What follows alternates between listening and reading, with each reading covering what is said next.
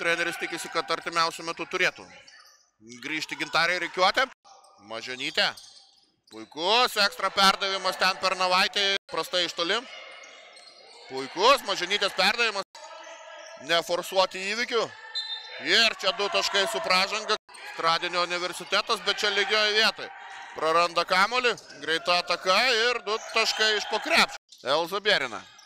Pelno pirmosios savo taškų šiandien. Mažionytė. Bet e, tritaškiai nekrenta ir, ir aistėm. Čia klaida. Savo staitės. Ten. Zetkauskaitės, įspūdingas perdavimas. Dabar Latvijos komandos atsilikimas mažėja iki 13 ir jie aistės galvoja, kad čia visi reikalai padaryti. Ir čia atsikerta gynyboje Kaunietės. Dar vieną tritaškį pataiko. Gynyboje darbuojasi Kazačiūnaitė. Atkovotas kamuolys gynyboje. Graži, greita ataka.